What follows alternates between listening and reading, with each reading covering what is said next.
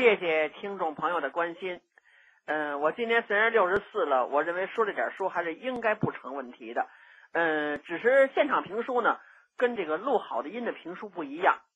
嗯，刚才咳嗽就是个事儿哈。如果我们在书馆说书，那咳嗽一声啊，喝点茶，喝点水，呃，跟听众聊聊天，这都很正常的。但是呢，电台呢，呃，这个直播终究呢，跟那个书馆还有些差距。但是呢，跟录音也有差距，所以我说错了呢，嗯，请大家原谅，我尽量的把它说的非常完美。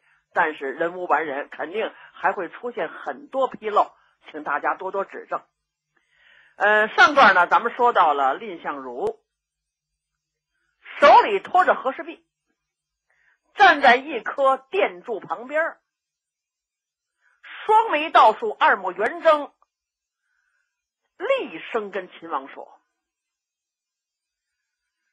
我们赵国也知道，怕必到秦国，而秦国的城不能给赵，所以呢，臣以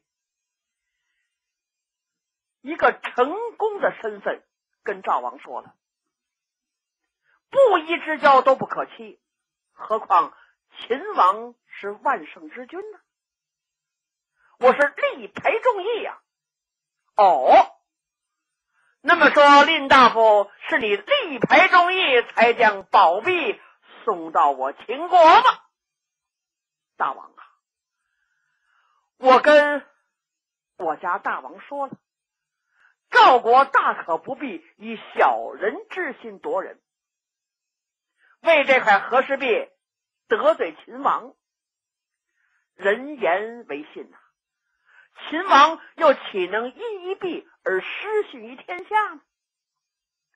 所以呢，我家大王听了微臣的话，斋戒五日，不动荤酒，必成必敬，围恭围谨，请出和氏璧，郑重的命小臣奉命而来到秦庭。我国的国君敬重之心。照如日月呀！可是微臣来到秦国之后，大王啊，你坐在你的玉座上，受了和氏璧了。你不但左右文武大臣闯观此璧，而且叫后宫的美人随意玩弄国宝，如此的亵渎宝璧，使微臣万分惊诧。大王，你写信给赵国，愿意用十五连城交换和氏璧。今天十五座城未入赵图，璧岂能属于秦呐？据臣看来，大王有霸占之心，无交城之意，因此略施小计，宝璧重归我手。蔺相如说出这些话来。宫廷之上，文武群臣是一阵大乱呐！哎呀，大王啊，小小的赵氏竟敢如此为无礼，实属胆大妄为，欺我帮太甚！大王，请您传旨斩蔺相如之头，以振我秦国的国威。这个也说，那个也说，秦王是勃然大怒，啪，一拍玉案：“蔺相如，你好大的胆子！”还不把宝璧呈上吗？倘有闪失，顶或不抵其罪。秦王这意思说的很清楚啊，只要我一声令下，就把你蔺相如下油锅。秦王说到这儿，就听殿外的甲士啊，晃身形，擦啷啷，甲印声音响，身形晃动。兵刃撞兵刃的声音，嚓啷啷啷就响了。蔺相如侧目往外边一看，殿外的甲士们一个个如狼似虎，横眉立目，就看着殿上。蔺相如非常机警啊，他就觉得殿外这些人虽然晃动，刀枪直响，但是只见人晃而不见人上殿呐。蔺相如心里就有底儿了，心说：“这是秦王怕我把这璧毁了。如果璧毁了，我也死了。他弄得杀人不落两把血。哦，他虽然有这样的话，但是这些人瞧着他眼神，秦王不敢让他们动手。好，要这样，我蔺相如就更好办了。这就是蔺相如抓住了秦王的心理。咱们说到这儿了，我们学过历史的人，爱听书的人都知道蔺相如完璧归赵。可是当时蔺相如呢，他并不知道殿上发生什么情形，所以您看人家聪明，那不是事先预备好的，随机应变、见景生情，那才是真正的聪明。蔺相如面对此情此景，他分析了当前的形势，他抓住了秦王的心理。蔺相如一阵狂笑，哈哈哈哈！大王啊，微臣是个书生，文弱无力。话虽如此，三军可夺帅，匹夫不可夺志。如果大王要强迫臣交出和氏璧，你来看。蔺相如说到这儿。右手就把这和氏璧举起来了，左手一指这柱石，就这大柱子底下这块基石，臣的头与和氏璧同岁，我死，秦国也休想得到和氏璧。蔺相如说到，他可做得到啊！他的眼睛斜看着柱石。那意思，你们要只敢过来抢这币，我啪嚓一下先摔币，然后我一头碰死，叫你们鸡飞蛋打，狗跳墙。秦王真是气急败坏呀！再一看蔺相如，眼珠子都红了，凛然而立。秦王倒吸了一口凉气，心说：这种人是不能侵犯的。那秦王也是个人物啊！秦王立刻转怒为笑，给自个儿找台阶儿。众位臣工啊，你们哪一个也不可欺辱蔺大夫。如果有对蔺大夫不公者，立斩！哈哈哈哈！蔺大夫不要动怒。寡人欲取信于天下，岂肯失信于赵国呀？来呀，看十五城地图伺候。是，侍臣们赶紧把地图呈到御案上，打开了。秦王用手一指：“林大夫，你来看呐，这就是西城十五城啊！啊，你看看，从这儿到这儿啊，不但指着地图说。”而且把十五座城的人口、地亩、钱粮，全都讲给了蔺相如。那秦王打算干什么？我不是骗你，这地图在这，我给你讲啊。他想着借这机会，想把蔺相如诓过来。只要蔺相如离开这殿柱一步，他一闭眼神，唰一下，百官往上呼啦啦一围，把蔺相如摁地下抢走币。我看你有什么办法？嗯，你摔都摔不了了，你往这基石上摔，百官往上一围，你这币都没法出手了。那蔺相如多聪明啊！蔺相如抬头一个主意，低头一个见识，那蔺相如聪明透顶了，拔下一根眉毛来都能吹出哆来咪发嗦拉西哆来，那还是立体声的。要不人能完成这么大的使命吗？蔺相如看穿了，秦王，你想把我诓过去枪毙吗？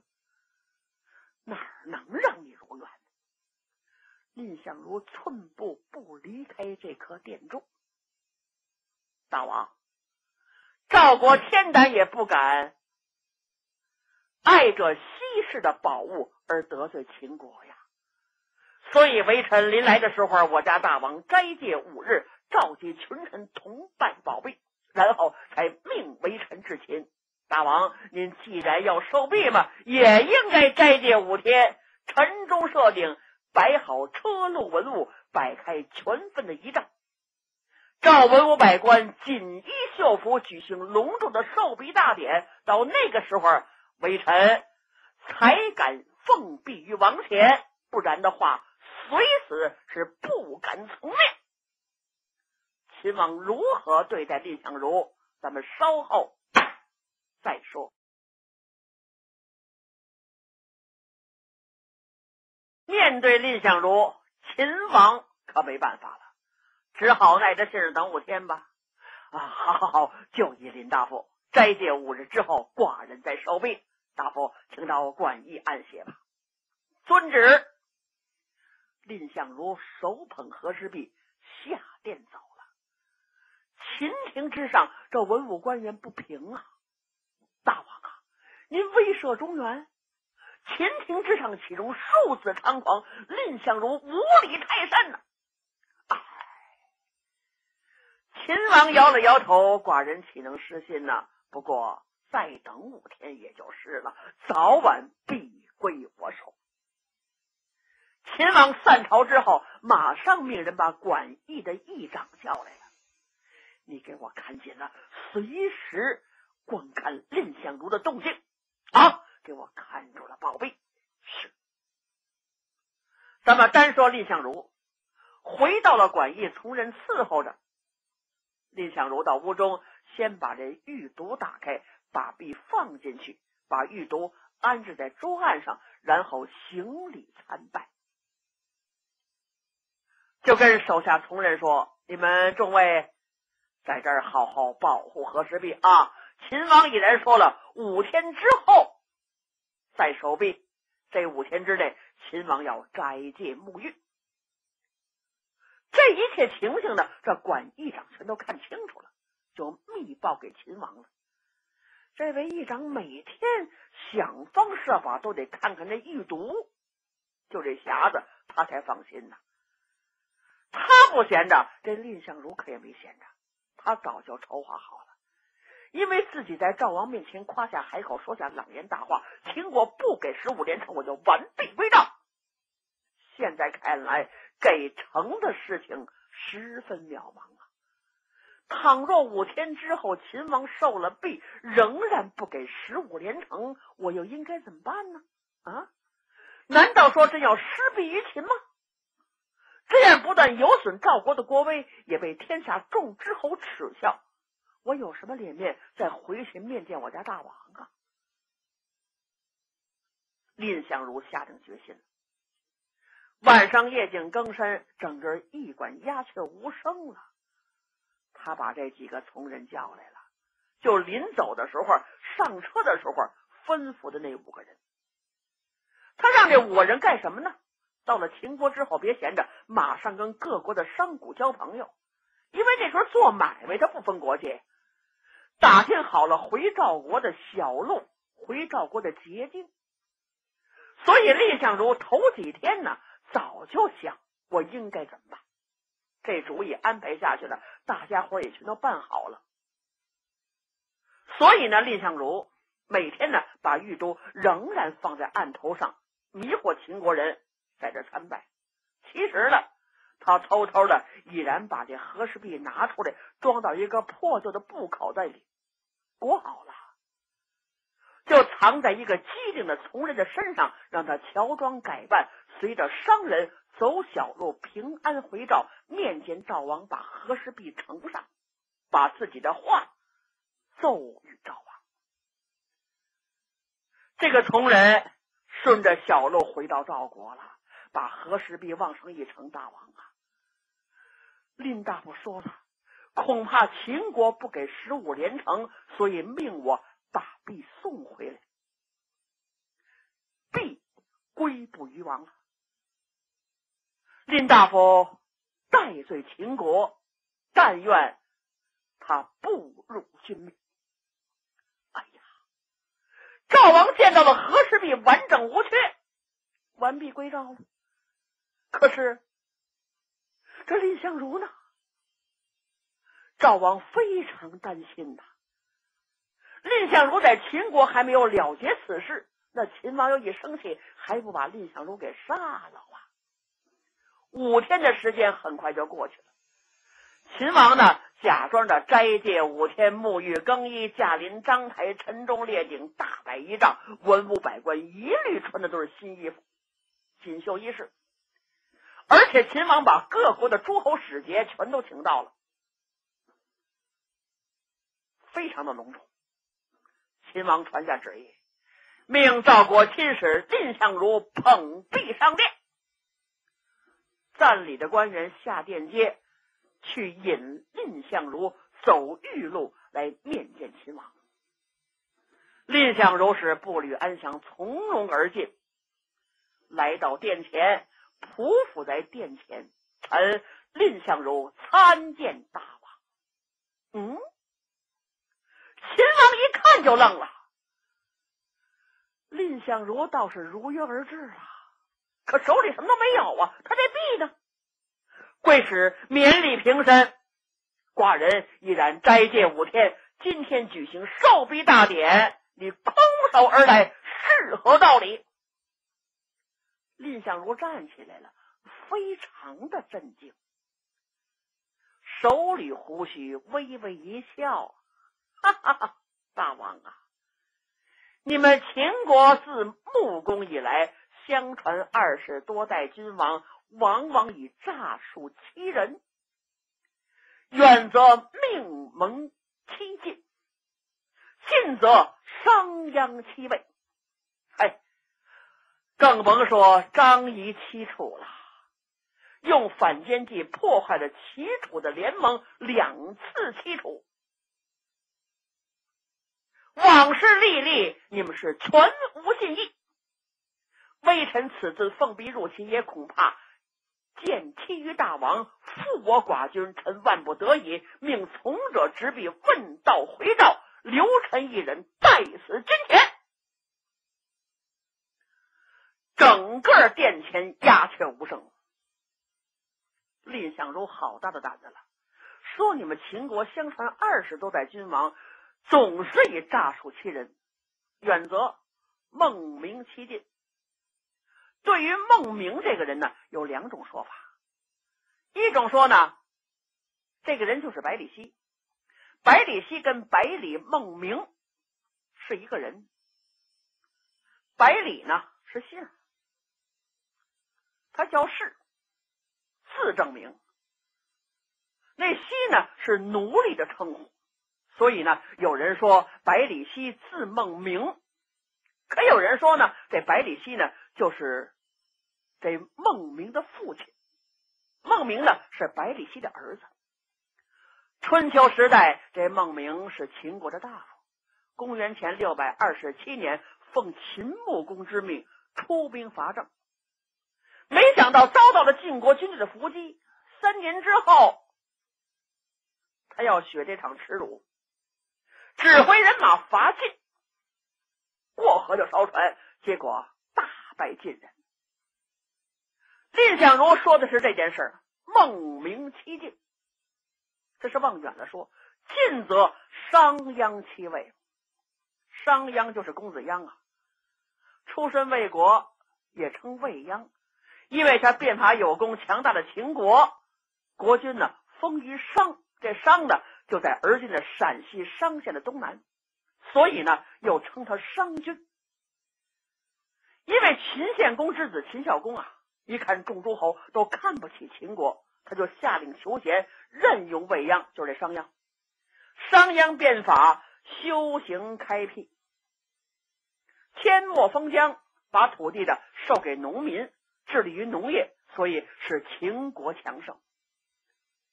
秦国的迁都到咸阳，屡次战败魏国。秦国呢，拓展疆土，就到了洛水以东了。所以蔺相如说啊，你们秦国远则孟明其晋，近则商鞅其秦，更不说张仪两次欺楚了。你们是没有信义之人，所以呢，我已然让我从人把币送回去了。嗯，留下我一个人，不就死吗？我待死之前。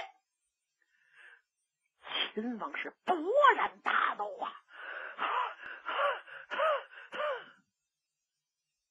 四个字儿，气喘如牛。啪一拍桌，大胆蔺相侯！牵着你到寡人不敬，寡人乃如约斋戒守壁。如今你当着满朝文武、各国使节空手来见，明明是欺负寡人呐！视孤王如无，你该该一张死罪啊！来了，哗！这武士呼啦啦蜂拥而入，就把蔺相如绑起来了。来。把蔺相如绑起来，砰！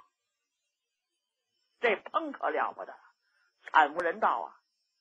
游到到大井里，下边烧火，烧开了，把这受刑的人裹上。两个武士手里拿着叉，往这里一扔，然后调过来，再扎这双腿，这受刑的人就成焦炭了。来呀！把蔺相如给我烹了，架势架好了，顶也立起来了。